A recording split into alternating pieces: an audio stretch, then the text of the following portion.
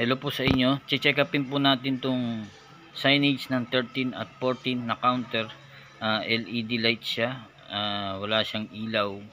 So check upin natin kung ano po yung problema nitong signage nila. Busted po ang power supply nito. Ah, wala pong output na 12 volts at wala ring power indicator sa LED niya. So kailangan natin itong palitan. Kaya nasira yung power supply dahil dikit-dikit na yung wire dito sa baba. So, kailangan din natin itong ayusin. At itong power supply, kailangan natin bumili ng bago. So, tingnan natin kung ano yung specs niya o yung kailangan natin bilhin para kaparehas nito. At ayan, 12 volts, 60 watts, so 220 rin siya. So hanap tayo nito para mapalitan natin agad. Compare po sa ordinaryong power supply, mas maganda itong ganitong power supply dahil mas high performance po ito. Ah, mas high ampere ang ibinibigay niya compare sa ordinaryong power supply na di transformer. So ang tawag po rito ay switch power supply. Bibili na po tayo nito para mapalitan na po natin kagad. So ito binigyan na ako ng pangbili ng amo natin. Dito na po tayo sa bilihan Ah, hanap po tayo ng transformer na to so nakakabili na ako dito nung nakakaraan pa. So hanap lang tayo ng medyo malapit-lapit na specs sa kanya. So dito tayo simula tayo sa maliit. Tingnan natin. So ito worth 500 Ah, isa natin kung yung specs niya ay parehas. So mas maganda kasi yung ganitong transformer. Ah, lightweight siya then naiwas niya yung Requesting for Horsepower. 8077 to customer compared sa transformer na may malalaking transformer. Ah, mas matipid to sa kuryente. Pero high performance siya kasi nga high frequency. So kung i-compare natin yung specs niya ito 12 volts 60 watts yung kailangan natin. Ito isa ay 12 volts 40 watts o 3.5 3.2 ampere lang. So kailangan natin is 12 volts 60 watts 5 ampere.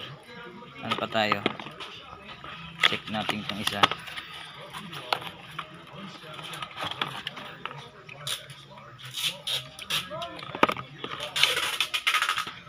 So, malaki lang yung packaging niya pero ito 12 volts 5 ampere 60 watts. So parehas silang rating nila mas matipid sa kuryente itong gantong transformer. Then pero high frequency o high ampere ang binibigay na performance niya. Ah, yan. so ito ang bibili natin. Ito na lang kunin natin. Malaking packaging pero parehas naman yung rating niya. Nangyayari kasi kapag mahina yung kukuhanin natin baka mag blink blink yung mga LED so, marami silang binibenta rito eh. Mga electrical parts din mga devices. So kumpleto rito. Ikot ikot muna tayo mga boss. Ayan, dahil nilang ilaw din. Kung gusto nyong pagandahin ng mga bahay nyo eh dito lang rin. Sa store na to o, kuhanin na natin to bayaran na natin kay cashier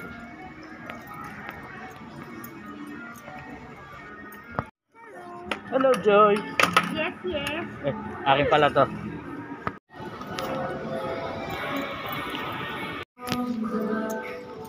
patesting muna po natin nakalimutan kong patesting eh balik tayo Stock naman to, di ba?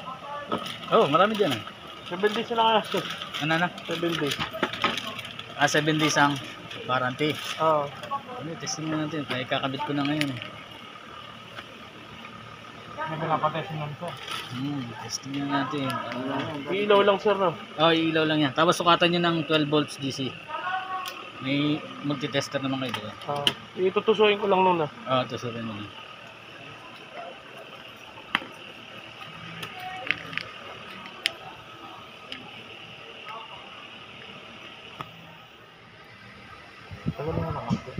Nagte-test po sila ng light detector. Ayaw umilaw, ayaw kasing tanggalin yung balat. ay yung plastic na itim tingnan natin no to Ayun siya, may ilaw.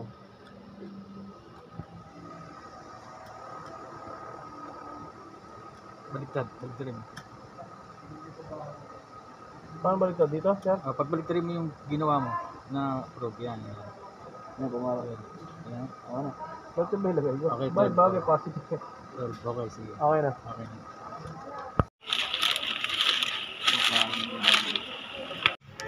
o nakabili na tayo sasalpak na natin to ngayon doon at para mapagana na natin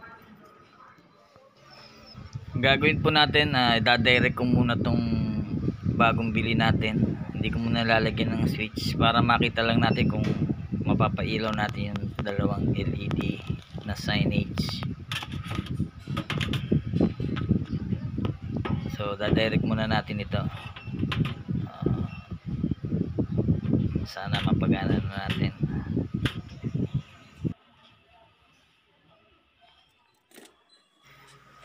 Yung wiring babaklasin din natin. Dumikit na sa body ng cabinet. Kasi metal tong cabinet natin. So kailangan linisin natin yung wiring na yan. I-rewire natin yung switch. Babakbakin ko na rin yung wire sa cabinet. Kasi dumikit na talaga. Natanggal na yung balat. Pansinin natin to mga bossing no? mayroon siyang terminal then may mga marking yan. Makita nyo dito sa L1 at AC nakalagay. So line 1 and neutral yan o line 1 line 2 at yung ground at ang volt negative tsaka positive so unahin muna natin yung AC so sabi ko nga idadirect muna natin ah, para mapailaw muna natin yung LED at matesting natin. So pas pagdating naman sa secondary, positive to positive, negative to negative.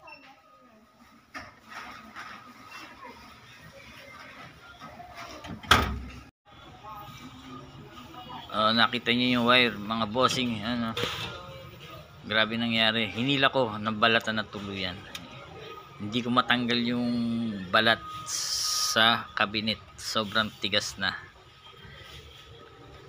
O, tanggalin ko na lang yung wire, yung balat na iwan na. Ayan bossing, kinabit ko na yung supply natin. Then, tsaka yung load natin na LED. Ah, naka-plug lang muna yan. Pinatanggal-tanggal, kabit ko lang muna yung plug para matesting natin. Kung kaya niyang pailawin. So, yan, patay. Hindi, patay. So, kagandahan pala nitong power supply na to, ah meron siyang protection. Mag-short man siya, hindi siya masisira. Namamatay lang. So, short protector o meron siyang short protector device. Kahit mag-short, hindi masisira. Ito po yung mga wire na nabaklas ko na. Ayan. Madurog na maigi. Ayan. So, wala na talaga. So, i-rewiring ko na yan. Ganyan na itsura niya. So, clarification lang pala ho sa sinabi kong sh- short protector siya, no? Doon yung sa 12 volts DC ho, ah, hindi sa AC, sa DC. So, mag-short man yung DC na positive negative, ah, mag-off lang siya. Then, pag natanggal yung yung short, iilaw uli siya. So, kahit naka-live siya, i-short-short mo, ganun pa rin. Ah, ganito katindi ang power supply na to. Ah, mayroon siyang short protector. Kita nyo yan. Patay sindi na, yan. Meron ng separator siya, o nilagyan ko na ng tigisang switch para kay 13 at para kay 14. So kung bago lang kayo sa channel ko, please subscribe and share din po. Uh, subaybayan po po natin ang ginagawa ko. Papaliwanag ko pa rin no kung saan pa ginagamit tong power supply na ito. At iayos ko po ang wiring muna natin dito. Ilalagay natin doon sa taas banda at ididikit natin yung switch niya para maayos ng tingnan mamaya. Ito na mga bossing. Ah finished product na idikit na natin yung switch nilagyan ko ng adhesive tape. Try uli natin. Gagana pa rin. Mga bossing ah, dito rin ho ginagamit yung power supply na yun. So lahat ng signage na yan ay power supply o switch power supply ang gamit. So, ito yung mga signages namin sa store namin. Ako lahat nag-maintain yan. So, please subscribe and share po. Keep safe. And God bless. Thank you.